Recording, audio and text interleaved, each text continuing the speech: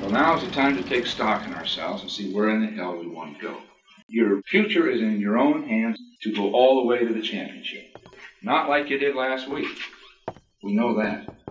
I got called into Bill Walsh's uh, office once because I'm thinking I had a game where I had over 10 receptions. I think I had three touchdowns. And I'm thinking Bill is bringing me up to uh, congratulate me. But Bill brought me up to tell me that, look, I need more from you on the football field. And come to find out, he had brought up Ronnie Lott and so many of the other players also. He was that type of motivator. Some guys can take on that competition and thrive on it. Other guys can cave in.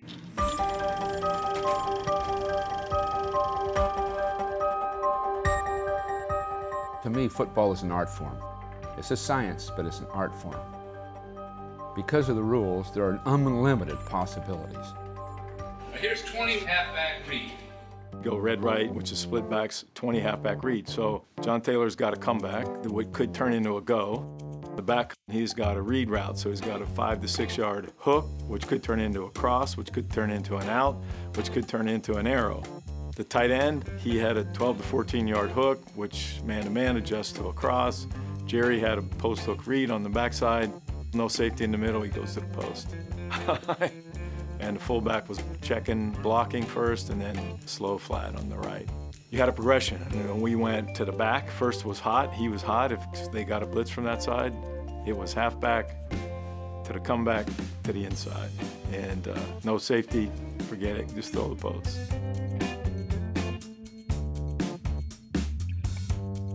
It was so much fun to kind of reel him in. It was like a fishing expedition, right? You draw him in and just enough, and then you just whip back and throw it right down the rail to Jerry.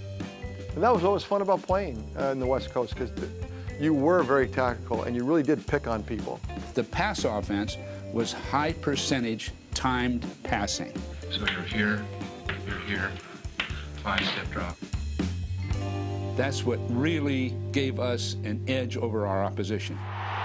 Tell Freddie to split about six or seven yards on this thing, and then get his up that field, and you watch that safety, okay? We also learned to strive for what Bill liked to say was perfection, because if we miss perfection, we're pretty good. But if you aim to be just so-so or be good and you miss, you end up being mediocre, and, and you don't last very long in the NFL being mediocre. How did that hitch feel to you? Uh, it seemed late because usually I'm ball out, just leaving my hand as they're turning. We'd have a script of plays for the whole practice, and he goes, "There's 90 plays. We could be here an hour and 45 minutes, or we could be here 2:45, but we're not leaving until we get it right." Ready, ready. that will be a beauty. The other thing that's important, I think, is, is the demeanor. Don't try to attract attention by sorry-looking clothes. Don't think just because you dress up like the pilot, they'll let you steer the plane.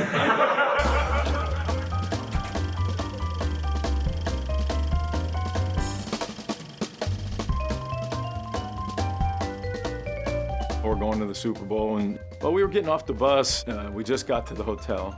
wasn't paying attention. I, I was trying to get my eyes on the door and try to walk in as fast as you can go. And I had a, I had a carry-on bag in my arm. I passed this guy who was wearing a, a bellman suit and a cap and all that kind of stuff and hadn't uh, registered on me. As I got off the bus, somebody grabbed my bag and I go, no, no, no, it's okay, I got it. And I wasn't really paying attention. But then he grabbed it the second time and yanked hard. I said, no, I got it. And I turned and looked and it was Bill. We really didn't know who he was until we really looked at his face. It was part of his way of relaxing the football team getting us ready to play the ball game. You might tell Joe Montana and the fellas, I think maybe they really did win one for the Gipper. Well, I think uh, Joe was thinking of the Gipper when he won that one, I'll tell you. I was hoping I'd be receiving a call from you, and thank you very, very much. We're going to have to find a way to avoid being distracted by all the great things about being a professional athlete. They can get so distracted by it, they forget why they're earning the money, and that's to play football and be part of a football team. After the first Super Bowl, everybody was all of a sudden wanted all over the place. And he called me in one day and just, he thought I was doing way too much off the field. And he was right. And he just said, look, I just want to tell you something. Your job is to play football here. And I understand all this, these things, these new things that are going on. He says, but I just want to tell you one thing, and that is the less people see you, the the more they want you. And that sticks in my mind till this day. Keep interviews short. After five minutes, you're starting to get in trouble. After 10 minutes, your wife's going to hear about it. After 20 minutes, your teammates, some crazy things you end up saying. Keep your interviews short, cover things, and get out of there keeping yourself satisfied and them satisfied.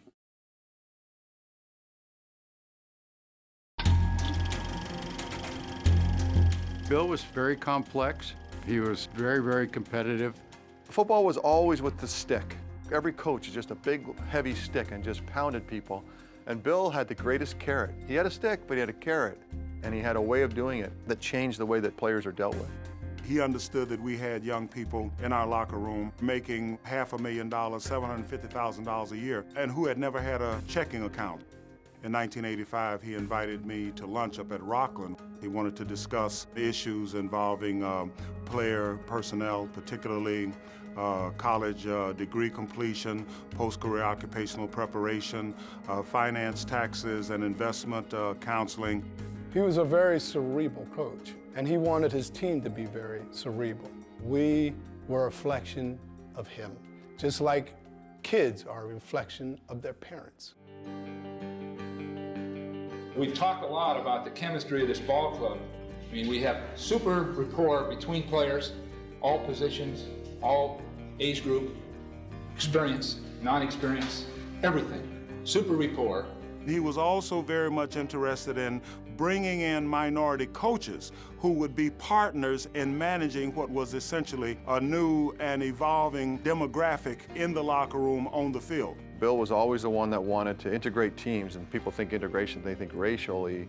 He integrated everything, you know, whether it was religion or socioeconomic background or geography or language, you know, all the things that put people in, in groups he wanted to break down because what he knew is if the quarterbacks knew something about the defensive backs and knew their wives' names or knew where they were from, that that team would, under pressure, perform better.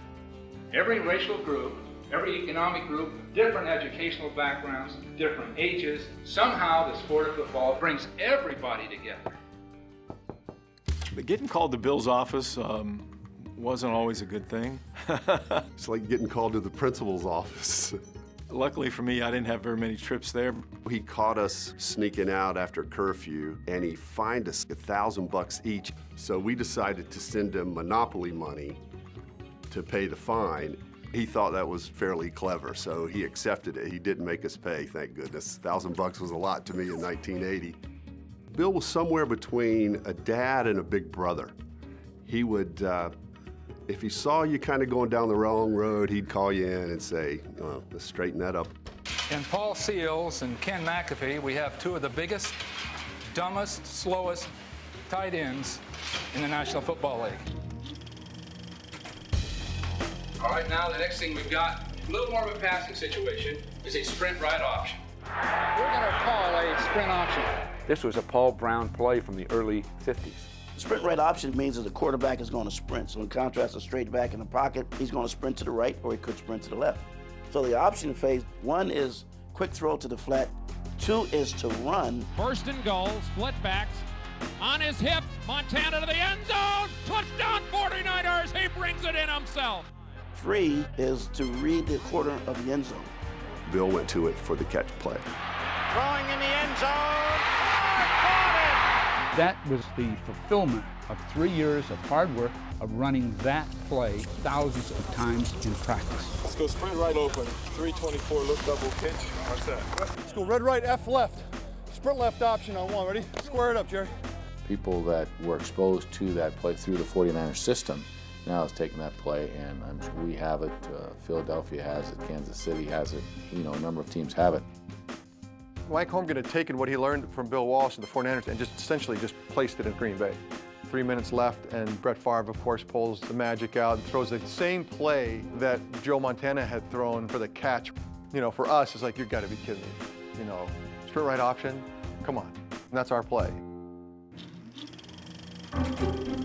We begin to lose people, and those that replaced them have the conviction that they can play as well or better if ever called upon. Bill Walsh is the kind of guy that could, could, could grab talent from people. I was out of football at age 28, and I sent out all my resumes to all the teams in the league, and everybody said I was too old except for one. That was Bill Walsh. Give it to Sidney. It was incredible playing for the 49ers. Touchdown 49ers. This is going to take the sacrifice of sacrifices to make or break the season this week. We'll have an excellent game plan. I think we're in pretty good shape there. But you, in your heart, have to get on that plane ready to make the sacrifice of all sacrifices. We have to keep our poise and function under pressure.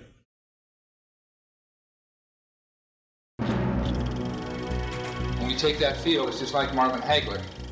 The minute you take that field, we unload. He used to talk about he was a boxer at San Jose State. And he would always say, you know, you have to beat your opponent to the punch. You have to hit them before they're ready to be hit. If you watch a boxing match, it's, it's not all about the knockout. It's about what boxer is hitting the other boxer first and wearing him down. And that's the philosophy that he brought to football was to be hitting the opponent every time before they were hitting you. As soon as you slow down, now you're playing their game. It's like letting the big heavyweight get your corner. The biggest man or the strongest man. It wasn't about that. It was about the complexity of the game, but it was about the poise. It was about making the right decisions at the right time and about outthinking your opponent. He was in control of everything, but he was very comfortable uh, letting folks do their job. So on the defensive side of the ball, he had a lot of trust in uh, Chuck Studley. Chuck Studley was the defensive coordinator. When it came to Bill Walsh being a part of the defense, you didn't see him a lot, but you also knew that, man, his fingerprints were on it. If there was a mistake, or if I was out of position, or if Keena was out of position, or if Willie Harper was out of position, or if Hacksaw didn't get something done, Chuck Studley and that group, they would get berated. At the end of the day, uh, Bill was in control. You can always talk about things unless you do them. And to get them done quickly, there's no use spending time with dialogue. That's where everybody makes mistakes in this world. So if we say we're going to hit people before they can hit us, we better do it in in this game, it wasn't. It didn't show up once in the whole game. I can't. I don't think it showed up once. Each guy in the room's got a role to play in the game. It might be goal line defense, it might be coverage, it might be special blitz, whatever the hell it is. Figure your job's the key job this week. Whatever you do is the critical job this week. The game's up to you personally. There's ever been 50 against the world. This is it. The uh, owner there is. uh, Philadelphia's guaranteed a victory for his team, and so it should turn into an interesting contest. He really knew how to get the best out of you. I mean, it might go, he might go for the juggler, or he may be patting you on the fanny. He's just probably the brightest person that I ever worked with for in terms of tactics. We were too young and dumb, I think, to, to understand it. But he had a very good knack of keeping all the teams balanced. If anybody had a great week before and you were feeling a little bit cocky, he'd tear it apart. The thing that worries the hell out of me is that edge not being there. We're looking for guys that catch every damn ball. If somebody had a bad week, he'd come in and build you up. Jeez, we looked good out there. And I just sensed a feeling on that field. It's just so damn positive, so confident. Just great to see it. It really was. He was extremely demanding, but we were part of building something that was special. When someone talks about Bill, there's a love and then there's a there's an edge to it, like ah. Bill had this look that I, I can't explain it, and, and only pictures can show it, but he had a look with a little tilt of his head and his hands were, arms were crossed. When you saw that look, I'd just exit as far down the bench as I could, and I'd go to the phone and get to the quarterback coach up in the booth first, and then he, right before we'd hang up, he goes, "Also, Bill wants to see you," and I go, "Oh, yeah, I figured that." they got the best of both of us. I mean, really. Um, and so maybe that was Bill's genius. This damn Dallas team can't keep their mouths shut. This is a grudge game for them. You never play the real Dallas team, as you know. Every time you beat them, it's because somebody was missing, because the plane didn't have the proper food on it, whatever the, the accommodations weren't right. Something, some reason, they lost the game other than getting their ass kicked. What he brought to the game was just amazing. A lot of character, a lot of heart. Players wanted to always go out there and play for him. Bill was a genius. Bill was a great coach, but more importantly to us, a great human being. We never wanted to let him down, and I think that's why we had so much success on the field. Brilliant, innovative, dear friend, family man, one of the great, great motivators. His coaching tree goes on and on and on, all through the NFL. His legacy will go on forever.